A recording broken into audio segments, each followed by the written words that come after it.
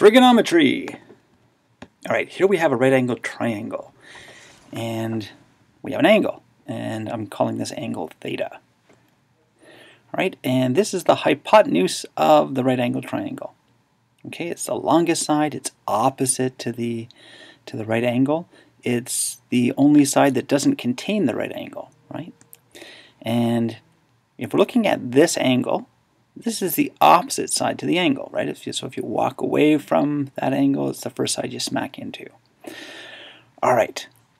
Then we have the adjacent side. Okay, so the hypotenuse is adjacent to this angle. It's beside this angle. All right, but the adjacent is also adjacent. It's just the hypotenuse already has a name. It's called the hypotenuse.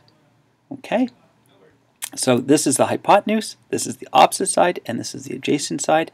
And the opposite side and adjacent are respective of this angle. Okay, so if you're looking at this angle, that's the opposite of the angle. Looking at this angle, well, that's the hypotenuse, so this one must be the adjacent. All right, now we have three ratios that we're going to look at. We're going to look at the sine ratio. Sine is always the opposite side over the hypotenuse. Okay, so sine of theta is the opposite over the hypotenuse. Another ratio that we can make is we can make the adjacent over the hypotenuse, and that's called the cosine, adjacent over hypotenuse. And we have another one, um, which we call the tangent function, or the tangent ratio, is going to be the tangent of theta is going to be the opposite over the adjacent. Okay. We also have the inverses of all of these. You can have hypotenuse over opposite is uh, is cosecant, and then we have the hypotenuse over the adjacent is secant, and then we have adjacent over opposite is cotangent. So we have a whole bunch of these other things that we can do, but we're just going to talk about these three. Okay, and there's a nice little mnemonic device for remembering these. Uh, sine of theta is opposite over hypotenuse. So sine, opposite, hypotenuse. So, and then cosine is adjacent over hypotenuse. So Ca, C-A-H, right? Cosine, adjacent over hypotenuse. Tangent, T-O-A, toa.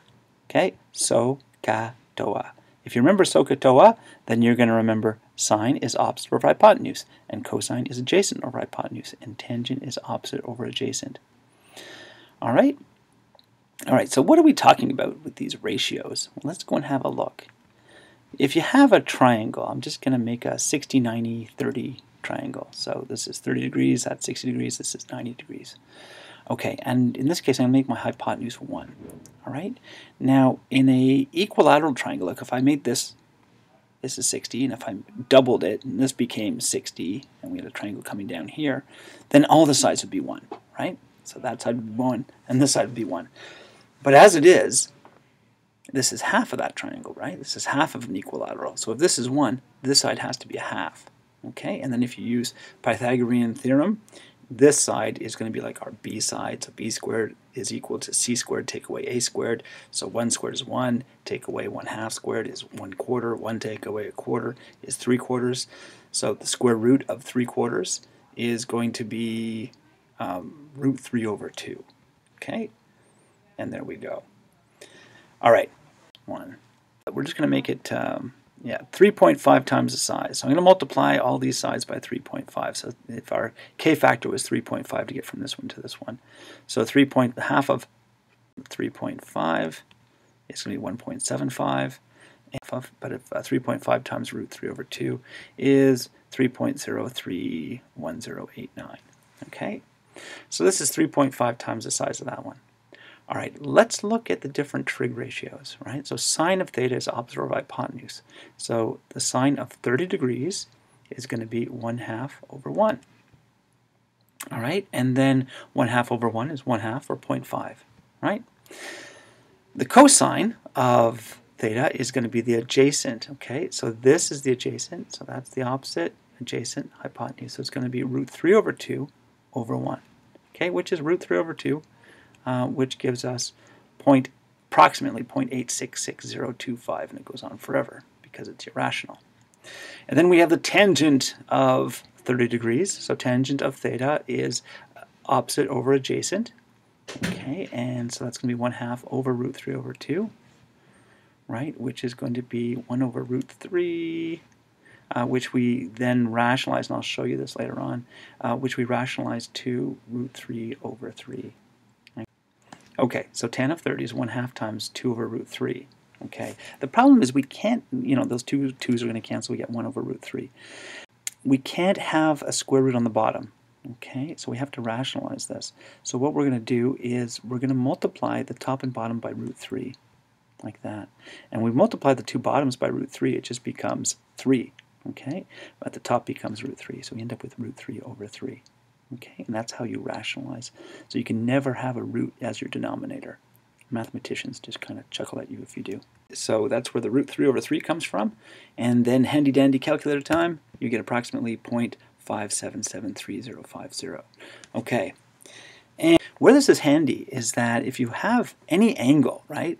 So the sine of 30 is always going to be 0.5, regardless of the size of your triangle, right?